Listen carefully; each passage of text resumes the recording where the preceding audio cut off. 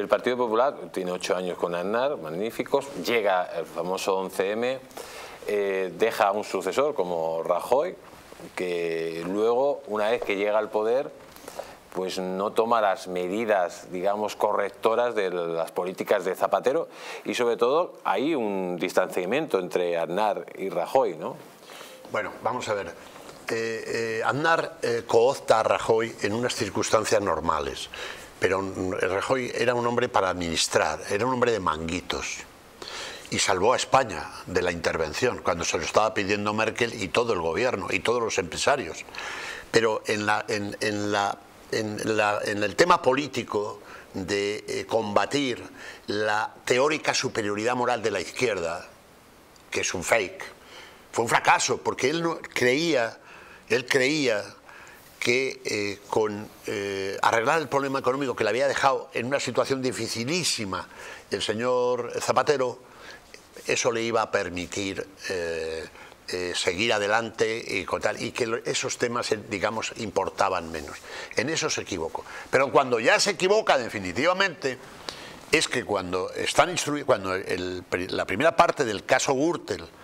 es tal y pasa a juicio,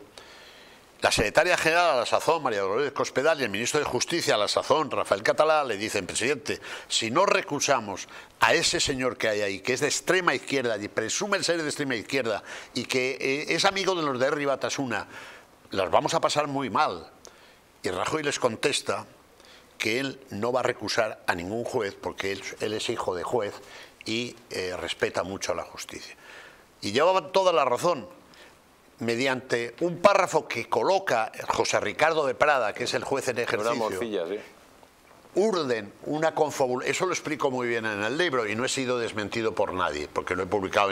en, televisión y en tal cual.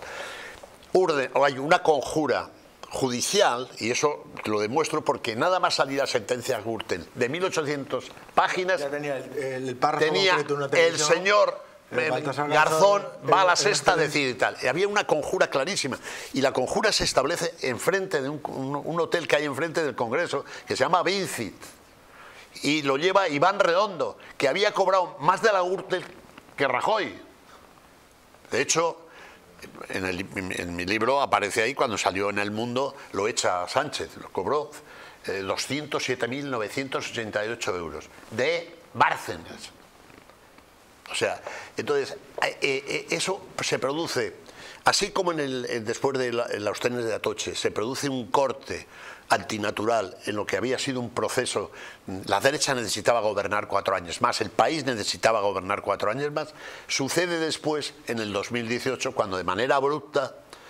se gana una moción de censura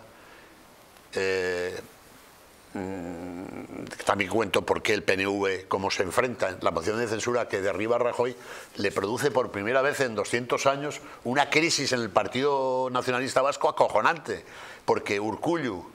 quería la censura y Ortúzar y Aitor no la querían. Por eso ahora has visto que con este caso están callados como, como, como, como iba a decir. Entonces, eh, eh, eh, digamos, el señor Rajoy coge una mayoría absolutísima, total, pero sin embargo deja un Partido Popular muy tocado y la derecha dividida. Le faltó a Albert Rivera, le faltaron 75.000 votos por haber dado el sorpaso. Y de hecho, si eso se hubiera conseguido, el Partido Popular estaba en trance de desaparecer porque fue tal el golpetazo aquello que supuso lo que fue la gestión de la moción de censura que muchísimos diputados y muchísimos cuadros, por ejemplo, en la zona que yo más conozco, yo soy de la Ribera del Duero, donde el PP es un bien de Estado, pues ya estaban tal. Si eso se hubiera ocurrido y tal. Pero es que luego Vox estuvo también a punto de darle de tal cual. Entonces, ¿Qué le eh, faltó a vos para dar la puntilla? Bueno, porque, vamos a ver, el Partido Popular es muy fuerte en Europa, muy fuerte en Europa, tiene un poder muy, muy fuerte y además ahora ahora van a tener los del Partido Popular que hacer, hacerse a sí mismos una, una putada, valga la tal, porque la señora eh, Ursula von der Leyen, que es miembro del, Partido Popular Europeo, ahora que ha sido la gran aliada y la que le ha salvado la cara al señor Sánchez, los del PP español van a tener que votarla. yo creo que a cambio le darán un, comisaria, un comisario, que yo creo que el nombre está más o menos decidido, es Esteban González Pons comisario europeo, que no es moco de pavo, siempre y cuando las elecciones se celebren antes del 25 de diciembre y el Partido Popular gane,